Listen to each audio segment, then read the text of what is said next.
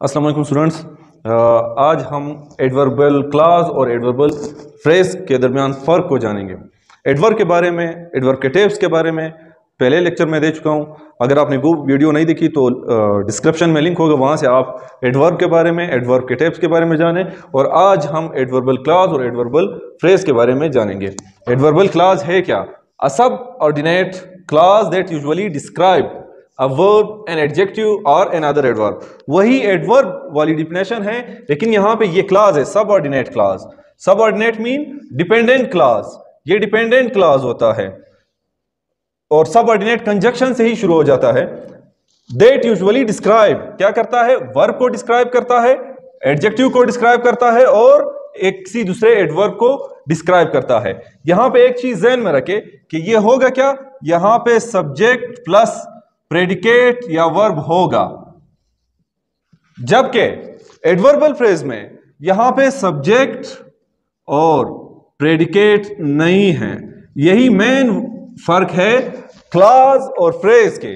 अब adverbial phrase क्या करता है? A group of words a group of two or more words दो या दो से ज़्यादा अल्फाज का वो ग्रुप देट एक्ट्स जो फ़ंक्शन करे, काम करे एज एन एडवर्ब बतौर एन एडवर्ब इन सेंटेंस अब एग्जांपल की तरफ़ आते हैं। जवाब किस चीज़ का देगा?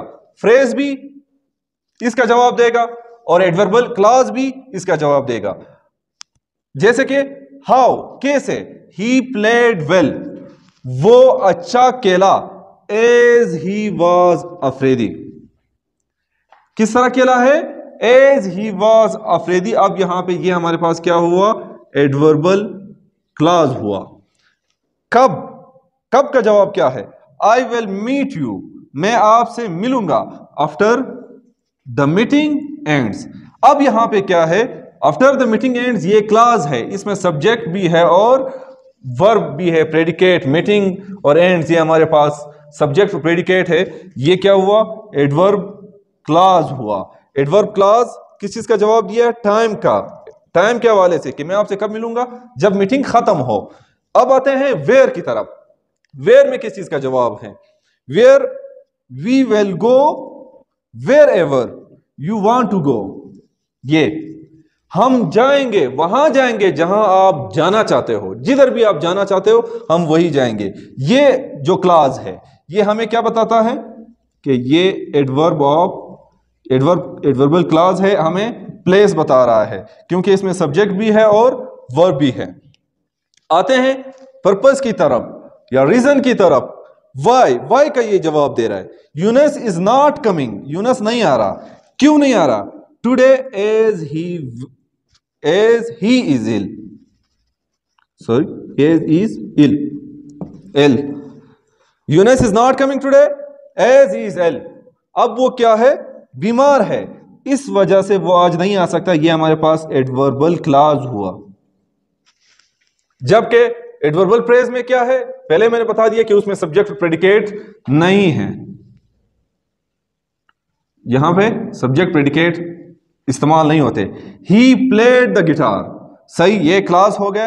वेरी सरप्राइजिंगली बहुत ही उम्दा तरीके से उसने गिटार प्ले किया। ये हमारे पास प्रेज हुआ। दो अल्फाज का ग्रुप है। ग्रुप ऑफ़ टू वर्ड्स है। देट डे इसने हमें बता दिया हाउ हाउ का जवाब दे दिया। फ्रेज में भी हाउ का जवाब दिया। अब दे डे ये टाइम के बारे में हमें बता रहा है। टाइम है वेन का जवाब दे रहा है। ये एडवर्ब ऑफ़ फ्रेज है। यहाँ पे क्या है? That day you miss the train आपने ट्रेन मिस कर दिए। ये हमारे पास क्या हुआ? ये एडवर्ब ऑफ़ फ्रेज है। ये हमारे पास क्या है? ये एडवर्ब ऑफ़ फ्रेज है। एडवर्बल फ्रेज है। वेयर वेयर का जवाब क्या है? They are playing in the ground. ये इन द ग्राउंड प्लेस की तरफ़ इशारा कर रहा है। प्लेस का जवाब दे रहा है कि कहाँ पे खेल रहे हैं? ग्राउंड में खेल रहे हैं। ये हमारे पास एडवर्बल फ्रेज हो गया, प्लेस वाला। और सबसे आखिर में why purpose adverb of purpose क्यों? किस वजह से? रीजन क्या है? शी वर्क हार्ड वो मेहनत करती है। किस लिए? To get the first position अब ये to get the first position ये हमारे पास क्या हुआ? ये हुआ एडवर्ब फ्रेज कौन सा फ्रेज पर्पज वाला काज वाला। ये सारे हमारे पास क्या है? एडवर्ब फ्रेज हैं। यहाँ पे आप देख ले सब्जेक्ट प्रेडिकेट है, नहीं। इसमें सब्जेक्ट प्रेडिकेट है, नहीं। इसमें सब्जेक्ट प्रेडिकेट है, नहीं। इसमें सब्जेक्ट प्रेडिकेट है, नहीं। तो जिसमें सब्जेक्ट प्रेडिकेट ना हो, और बतौर फ्रेज यूज़ हो, किस लिए? इसका जवाब दे हाउ का? टाइम हमें बता दे, जगह बता दे, वजह बता दे। तो वो होगा, क्या? सॉरी मिस द ट्रेन इसमें फ्रेज नहीं है। मिस द ट्रेन नहीं, यहाँ पे टाइम हमें ये दे डे बता रहा है। तो ये हमारे पास फ्रेज होगा।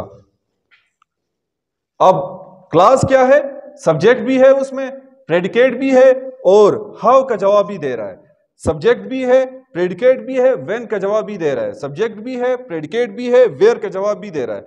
सब्जेक्ट भी है प्रेडिकेट भी है वाई का जवाब भी दे रहा है। तो ये हमारे पास हुआ एडवर्बल क्लास ये एडवर्बल क्लास और एडवर्बल प्रेज के दरमियान सबसे बड़ा और एम फ़र्क है इस तरह हम पहचान कर सकेंगे कि कौन सा एडवर्बल फ्रेज है, कौन सा एडवर्बल क्लाज है। जुमलों में एग्ज़ाम में आ सकता है ऑप्शन दिए होंगे कि एडवर्बल क्लाज है एडवर्बल फ्रेज है प्रोपोजिशनल फ्रेज है, फला फ्रेज है, ये हमने इस तरह ही मालूम करना है।